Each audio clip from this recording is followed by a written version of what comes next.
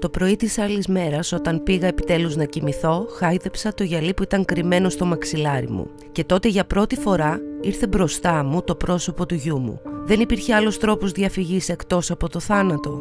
Θα μπορούσε να ήταν απόσπασμα από ένα μυθιστόρημα. Είναι όμως ένα κομμάτι της πραγματικότητας που έζησε μια νεαρή Μολδαβή όταν έπεσε θύμα εμπορίας προσώπων από διεθνές κύκλωμα με αποτέλεσμα να βρεθεί φυλακισμένη σε ένα δωμάτιο κάπου στην κατεχόμενη Κερίνια δουλεύοντας σαν σεξουαλική σκλάβα. Η εμπορία ανθρώπων αποτελεί μία από τις σκληρότερες μορφές εγκλήματος με καταστρεπτικές συνέπειες στα θύματα. Με τζίρο 150 δισεκατομμύρια το χρόνο, το human trafficking κατατάσσεται ως η τρίτη πιο κερδοφόρα εγκληματική δραστηριότητα παγκοσμίως μετά το εμπόριο ναρκωτικών και το εμπόριο όπλων. Για να μπορεί ωστόσο να επιβιώνει μέσα στην πάροδο του χρόνου, το human trafficking κάνει ό,τι κάνουν και οι μεταλλάσσεται. Αλλάζει πρόσωπα, αλλάζει μορφές, παραμένοντας όμως στον πυρήνα του το ίδιο απάνθρωπο και το ίδιο καταστρεπτικό. Στην Κύπρο μετά το κλείσιμο των Καπαρέ το 2010, η εξαναγκαστική εκπόρνευση γυναικών μεταλλάχθηκε και έδωσε τη θέση της σε ένα εκλεπτισμένο μοντέλο σιωπηρού εγκλήματος, διαπρατώμενου πίσω από κλειστές πόρτες διαμερισμάτων. Μια τέτοια περίπτωση είναι και αυτή της 29χρονης Αμάντα από την Ιγυρία, η οποία πριν τρία χρόνια ήρθε στην Κύπρο ελπίζοντας ένα καλύτερο μέλλον. after some weeks I went to look for job and the job Um, it was a place they make some massage and yeah, and the man I met offered me the job and I started doing it for some time and after a few days, like a week or six, the police came and they took all of us. They said because the job is not what we are really thinking that it is because they have been investigating it.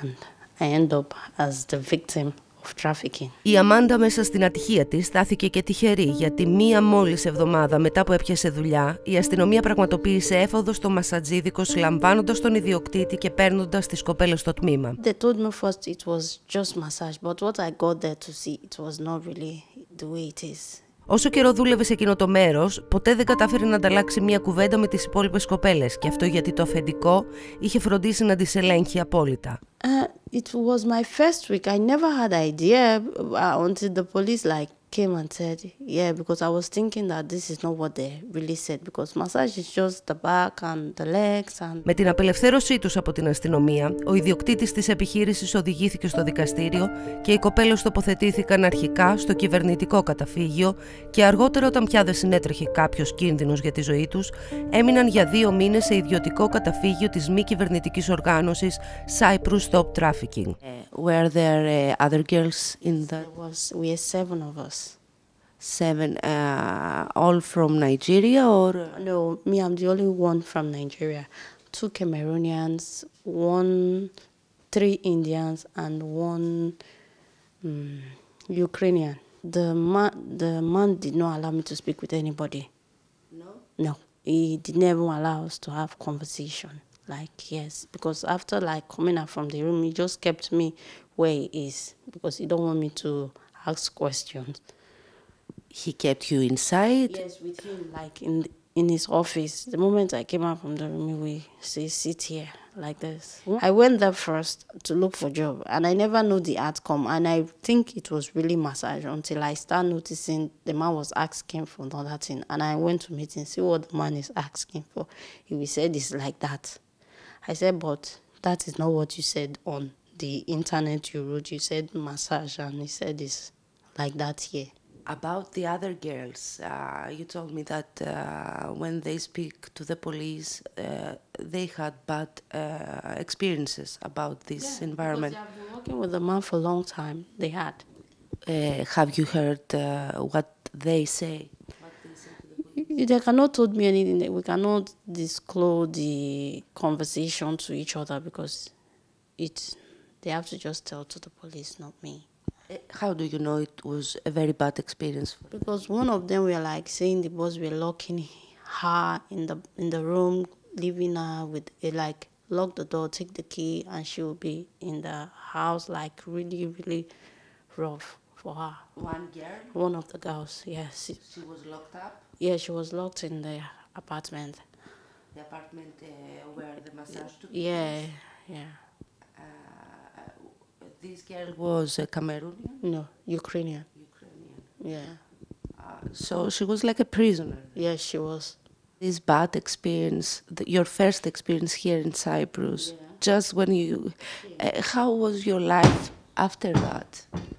No, my life is getting better because I was mm, not like for the past two, 2019, 2020, I did operation and 2022 I did another one.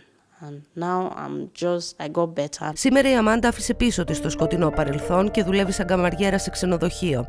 Μαζεύει λεφτά για να σπουδάσει και να γίνει αυτό που πάντα ονειρευόταν, μια ταλαντούχα σεφ.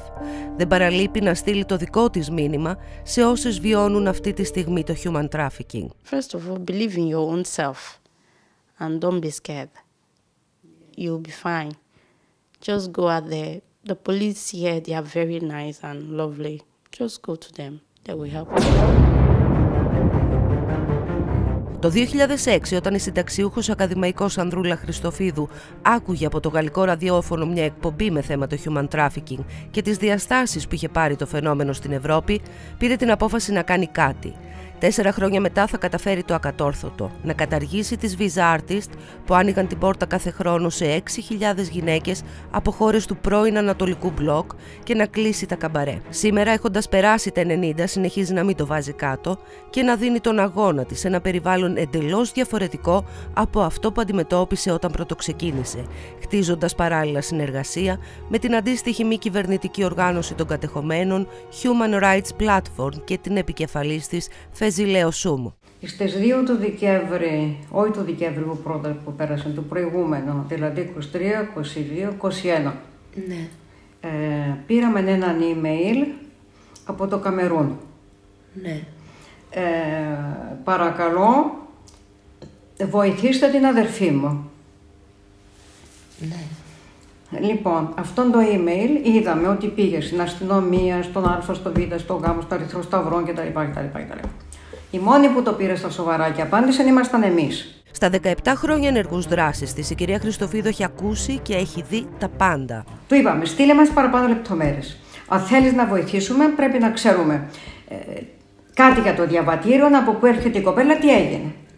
Και μας έστειλε πληροφορίες, λέγοντας ότι πήγε στην Κερίνια σαν φοιτήτρια και την μάζεψα, την έβαλα σε ένα διαμέρισμα και την αναγκάζουν να εκπορνεύεται.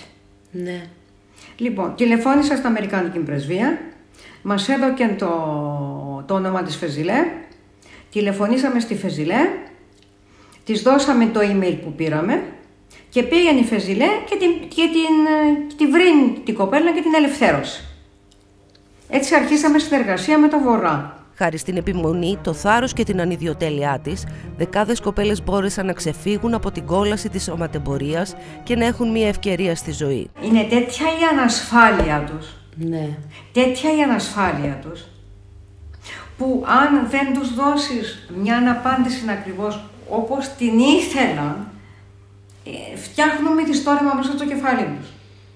Μετά από αυτά που πέρασε... Για να πω ότι δεν στέκεται καμιά πραγματικά στα πόδια της. Σύντροφό της στον αγώνα της καταπολέμησης του human trafficking, η πρώην επικεφαλής του Γραφείου Καταπολέμησης Εμπορίας Προσώπων και νυν βουλευτής Ρίτα Σούπερμαν, η οποία μάλιστα κάποια στιγμή είχε φτάσει να παίζει τη ζωή της κορώνα γράμματα, αφού στο όνομά της είχε υπογραφεί από τον υπόκοσμο συμβόλαιο θανάτου. Σε τούτο το μεσοδιάστημα επληρώθηκε και κάποιος για να με σκοτώσει εμένα.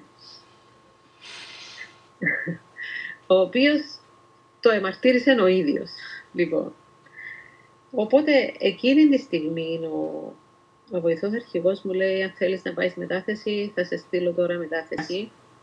Δεν πήγα. Εγώ δεν πήγα και έμεινα εκεί για 15 χρόνια σε εκείνο το τμήμα της αστυνομίας. Επισημαίνει την ανάγκη η κυρία Σούπερμαν να κατανοήσουμε τη συνεχιζόμενη μετεξέλιξη του εγκλήματος και να ακολουθούμε στενά τις αλλαγές αυτές. Δεν μπορώ να ε, χειρίζομαι την εμπορία σήμερα το 2023 όπως χειριζόμουν την εμπορία το 1990. Ο Ναι. λόγος ποιος είναι; Άλλαξε 100 φορές μορφή, έχει εξελιχθεί. Πρέπει να είμαστε ακριβώς ε, ενήμεροι για αυτή την εξέλιξη και έτοιμοι να την αντιμετωπίσουμε. Ξέρεις κάτι, ε, γιατί μιλώ έτσι και δεν έχω κανένα ενδιασμό; γιατί δεν έχω πραγματικά κανέναν ενδιασμό ε, στο να μιλώ για την εμπορία προσώπων, γιατί για μένα το έχω ζήσει αυτό το πράγμα 15 χρόνια, το έχω ζήσει στο πετσί μου, είδα τον ανθρώπινο πόνο στη χειρότερη του μορφή, την εκμετάλλευση και την, ε, το πώς καταπατάται η αξιοπρέπεια αυτών των ανθρώπων των θυμάτων. Και κανένας από εμάς δεν έχει δικαίωμα για κανένα λόγο να, να μην λέει τα πράγματα με το όνομα τους και να μην προσπαθεί να τα διώξει. Στην άλλη πλευρά της πράσινης γραμμής, η κατάσταση με την εμπορία ανθρώπων είναι ανεξέλεγκτη. Η επικεφαλής της μη κυβερνητικής οργάνωσης Human Rights Platform, δικηγόρος Φεζιλέο Σουμ, είναι από τους λίγους ανθρώπους που τολμούν να τα βάλουν με ένα βαθιά διεφθαρμένο σύστημα, ζητώντας επιτακτικά τη διαμόρφωση ενός πλαισίου πρόληψης, καταπολέμησης αλλά και προστασίας των θυμάτων. Αυτή τη στιγμή στα κατεχόμενα λειτουργούν δύο κυκλώματα. Το πρώτο έχει να κάνει με τα νυχτερινά κέντρα που στοχεύουν σε κοπέλες από χώρες του πρώην Ανατολικού Μπλοκ όπως Μολδαβία και Ουκρανία. Το δεύτερο κύκλωμα που λειτουργεί από Νιγηριανούς φέρνει κοπέλες από την Νιγηρία με το πρόσχημα της προσφοράς σπουδών και εργασίας στον Βορρά, οι οποίες καταλήγουν εχμάλωτες σε διαμερίσματα όπου με τη χρήση βίας και απειλών τις αναγκάζουν να εκπορνεύονται. Σε αυτά τα διαμερίσματα συνήθως βάζουν τρει-τέσσερι κοπέλες και μια γυναίκα που τις παρακολουθεί, τη λεγόμενη μαμά, μέλος και αυτή του εκάστοτε κυκλώματος. Στα έξι χρόνια που ασχολείται με το θέμα του human trafficking, η κυρία Οσούμ ήρθε αρκετά αρκετές φορές αντιμέτωποι με το σκληρό πρόσωπο του εγκλήματος, εντοπίζοντας κακοποιημένες κοπέλες σε διαμερίσματα, με σοβαρά τραύματα στο σώμα, γυναικολογικά προβλήματα, ακόμα και εγκυμονούσες. Μία από τις κοπέλες που έσωσε ήταν ένα νεαρό κορίτσι που είχε έρθει από την Ιγυρία για να σπουδάσει στα κατεχόμενα κοινωνική λειτουργός και ανταυτού κατέληξε δέσμια σωματεμπόρων να εκπορνεύεται. Ο αντίκτυπος της εμπορίας ανθρώπων στα κατεχόμενα μεταφέρεται και στις ελεύθερες περιοχές, όπου τα θύματα αναζητούν ένα ασφαλές καταφύγιο. Ωστόσο, η παντελής έλλειψη συνεργασίας μεταξύ Κυπριακής Δημοκρατίας και κατεχομένων στο θέμα του human trafficking είναι ένα ακόμη τροχοπέδι στην αντιμετώπιση του. Για το Γραφείο Καταπολέμησης Εμπορίας Προσώπων της Αστυνομίας, η μεγαλύτερη πρόκληση είναι ο εντοπισμός των θυμάτων, αφού το φαινόμενο πολλές φορές περνά σχεδόν απαρατήρητο.